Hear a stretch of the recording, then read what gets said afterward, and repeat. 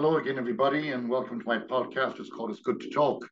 People know me because I got the book out a couple of years ago, and that's what all started. But my good friend Stoney McGurrin. It's also on audio, and Stoney also has a DVD out, storytelling. I'm going to give you a sample of those in a few minutes, but then I'll chat to you more about that, and we'll give you a taste of what's on the DVD. My sponsors are Liffey Van Lines Moving Company here in New York City. They've been around since 1973. Big birthday this year coming up soon. On my last podcast, I did a lot of stuff about Mother Hubbard's, a restaurant I own in Ireland back in 1990 to 95. And I did two podcasts on that. And I have one more to do, which will be coming up in about a week or so. I sponsored a lot of charities. A first restaurant in Ireland put in wheelchair access before it was a planning requirement. A campaign with other people from IWA Irish Wheelchair and all over the country to make it a planning requirement. All new buildings must have wheelchair access and ramps and wheelchair facilities. And I may happily say we were successful. So stop, don't pass Mother Hubbard's. So on my next podcast about that, I will talk about the countries we went to to promote awareness of wheelchair access and the need for it. The big thing with people in wheelchairs is the one big thing they hate steps. That no one likes steps, but if you're in a wheelchair, steps are an impediment. So in 1992, we went to Russia, to Moscow and Leningrad, St. Petersburg to create awareness and see what was going on there in the world of wheelchair. 93, we we did cover Jordan and Israel, and we were on the Caribbean cruise, Mexico and down south. I'll talk chat about that too. 97, 1980. 1998, 1998, we were in Malaysia, and some good stories from Malaysia as well about drama and things that happened in Malaysia. South Africa in 1999, and we went on from there. China in 2000 and Thailand in 2001. This was all creating awareness in these countries about wheelchair access, but also part of the fundraising. We were all volunteers, as many as 80 of us at times, small over Ireland and that. And that all that all tied into the whole Mother Hubbard story of sponsorship and other charities I supported. I see one here where I sponsored scholarships to Coláiste de Dara, which is in Connemara, and a bunch of students from the Midlands. I was able happily to provide them with scholarships to go to the Gaeltacht and learn how to speak their native language, Oscalia Irish language. So that'll be coming up about Mother Hubbard's. And I sold it myself. You can see a close up there of my sales brochure back in the day, and I'll talk about that too and advertising uh, business how to sell it. But I will discuss menus. If you're a restaurant owner, you'll find it interesting how to build your menu from your walk-in box. That's where you hold your produce, chicken breast, beef, whatever. How to make soups, fresh orange juice, carrot juice. Nothing should be wasted in the kitchen. Everything should be used and consumed. I had my own garden. So I was fortunate enough to be able to grow vegetables and reduce my uh, purchasing power or, purchasing expense. the good thing with that was it landed me on television and radio and into cookery books and all that, Eat Your Greens by Sophie Grigson. So we'll be bringing you updates on that. And other charities that I sponsored, Aware, which deals with depression, uh, cystic fibrosis, and a whole list of them. And we'll chat all about that. But today, until I get to that podcast about all of that stuff, just to give you a sample of it, today I'm going to pull out three stories from Stoney's DVD for you to enjoy until we get to the next podcast, which will be in a week or so. I think I'm going to select Stoney's a very good storyteller. He's was born 1941, and I hope you learn something here because that's the whole idea of it's about to talk. It's good to talk. It's about learning. So I see here Tony's going to give you the definition of bullshit, as he calls it, and I'm sure you'll find that enlightening. He's also going to talk about the son of Hickory Holler's Tramp, and that's a story with kind of a subplot that you'll find interesting. And those, then those of you that like cats, the last one here he's going to do is called The Cat in the Glass. So enjoy those, and until I see you again, remember it's always good to talk and be kind to yourself and to your friends. And remember, you are cat in the glass. I'm John D. Healy. Good to talk, and that's how it all started. Get it on Amazon.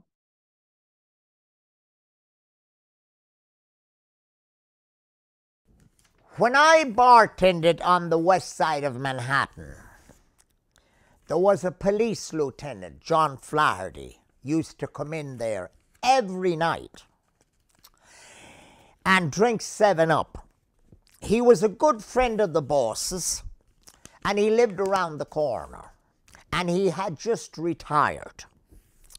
And the captain and lieutenants from the 2-4 precinct and some lieutenants from the 2-0 precinct used to come in and discuss cases that had gone on with him. And from what I understand, there's a big law book this size on every desk in the pre- in every precinct.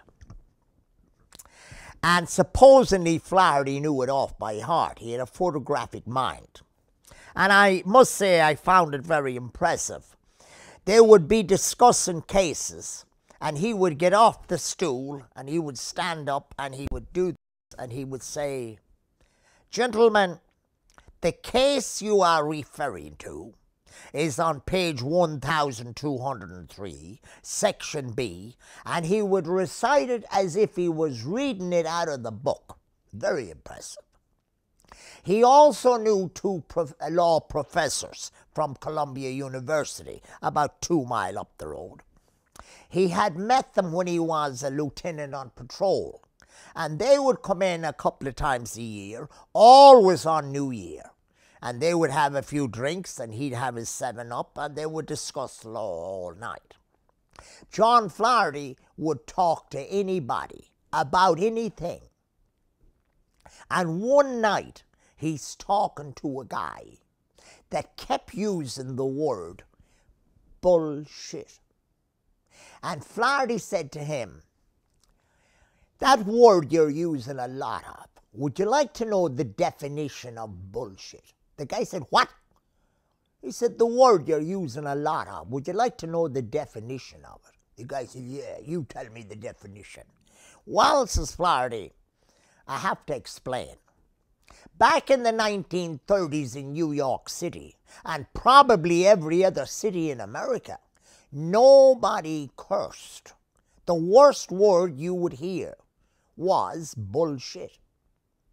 And down in Hell's Kitchen on 9th Avenue in the 40s, a guy who lived up on the sixth floor, he had a seven year old son.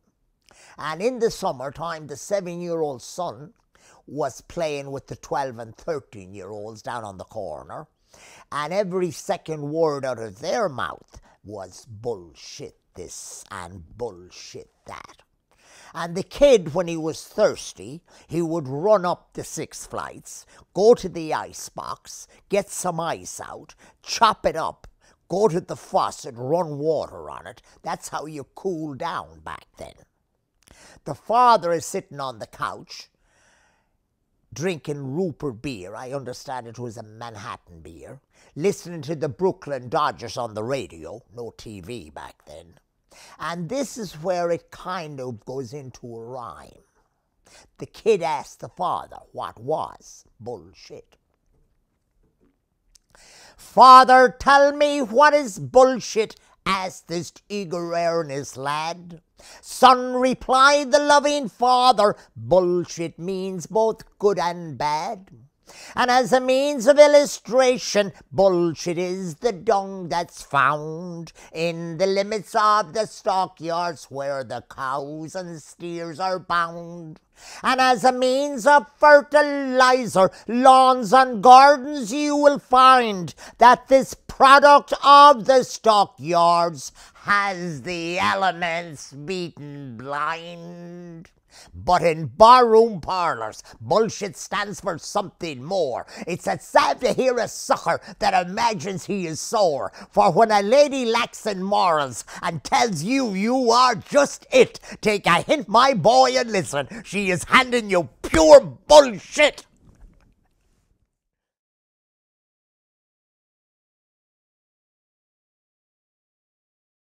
When I was a kid in Ireland, we used to hear a lot of talk about America. Well, it had the dollar, that was the big thing. But it also, we'd hear a lot of stuff about it had individual freedom, it had freedom of choice, and it had freedom for all. Then I came to America, and I had the good fortune to become an over the road tractor trailer driver.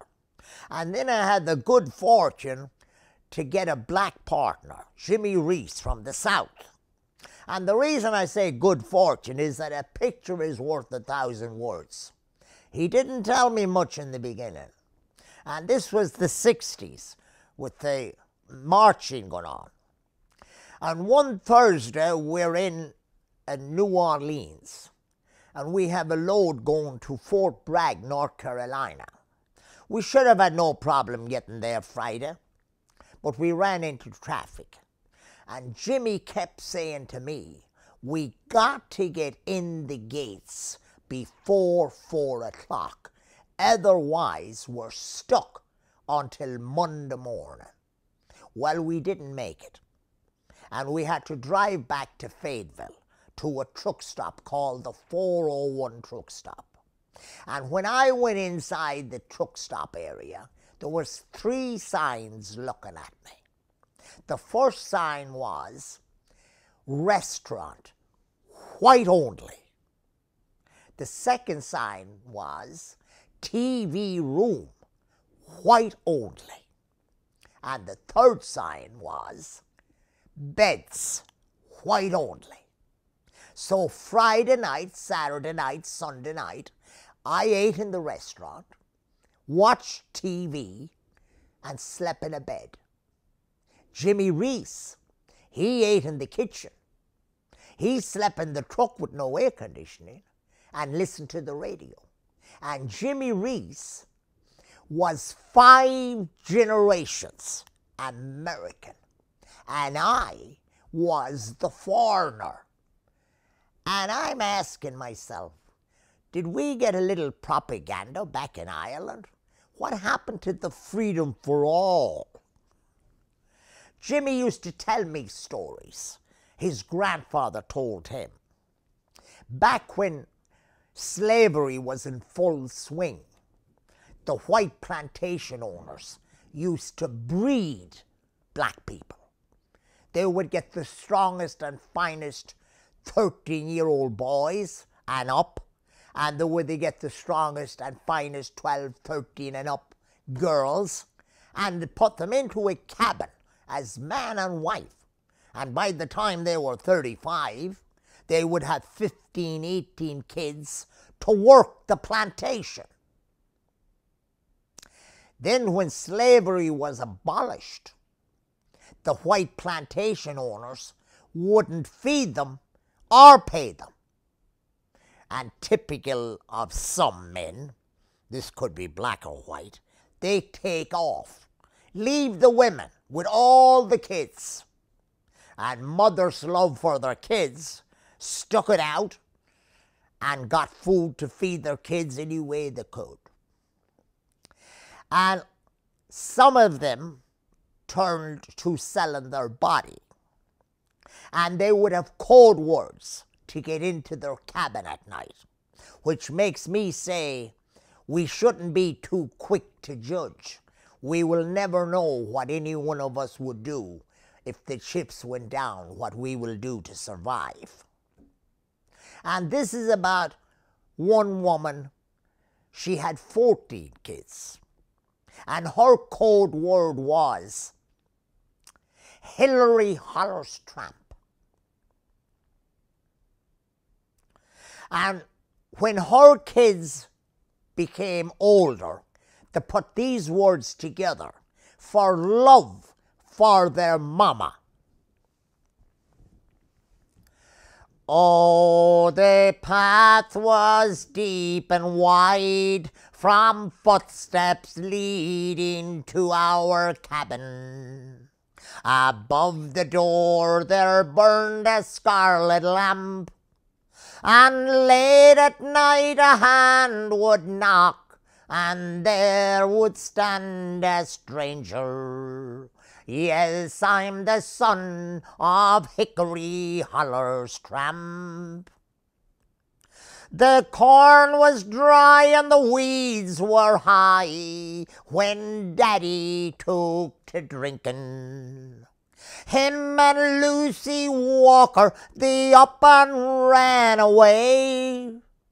Mama cried a silent tear, and then she promised fourteen children. I swear you'll never see a hungry day. When Mama sacrificed her pride, then neighbors started talking. But we were much too young to understand the things they said. What mattered most of all to us was Mama's chicken dumplings and a good night kiss before we went to bed. Oh, the path was deep and wide from footsteps leading to our cabin. Above the door there burned a scarlet lamp, and late at night a hand would knock, and there would stand a stranger. Yes, I'm the son of Hickory Holler's tramp. When daddy left and destitution came upon our family, not one neighbor volunteered to lend a helping hand. She let 'em gossip all the want. She loved us and she raised us. The proof is standing here a full grown man. Last summer, Mama passed away and left the ones who loved her. Each and every one is grateful for their birth, and each and every Sunday she receives a big bouquet of fourteen roses with a card that reads, The greatest mom on earth. Oh, the path was deep and wide from footsteps leading to our cabin. Above the door there burned a scarlet lamp, and late at night a hand would knock and there would stand a stranger. Yes, I'm the son of Hickory Holler's tramp.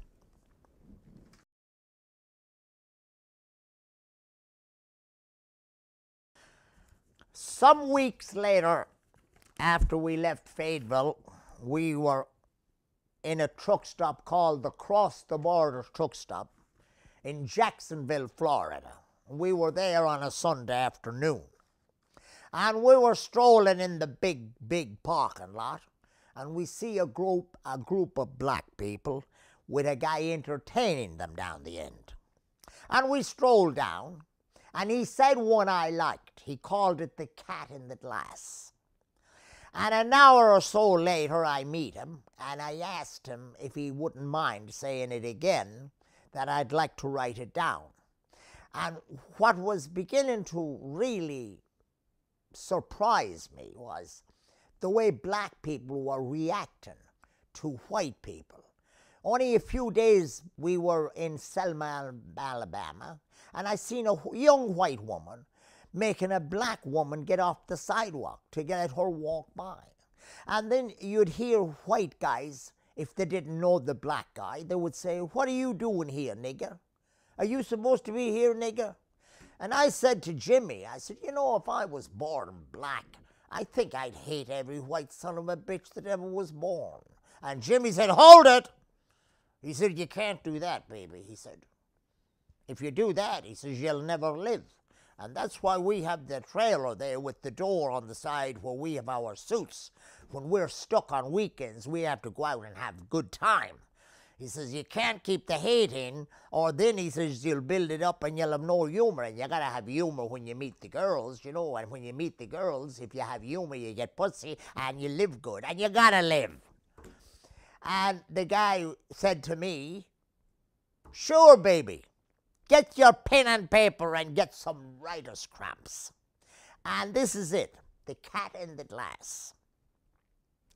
When you get what you want in your struggle for self, and the world calls you king for a day, just go to the mirror and look at yourself and see what that cat has to say. That's you, baby. For it isn't your father, your mother, husband, or wife whose judgment upon you must pass. The person whose verdict counts most in your life is the cat looking out from the glass. Some people may think you're a straight shooting chum and call you a wonderful guy, but the cat in the glass says you're only a bum if you can't look him straight in the eye. He's the one you must please. Never mind all the rest, for he's with you right up to the end, and you have passed your most dangerous, difficult test if the cat in the glass is your friend. You may fool the whole world down that pathway through life and get claps on the back as you pass, but your final reward will be heartaches and tears if you have cheated the cat in the glass. Bon voyage, folks.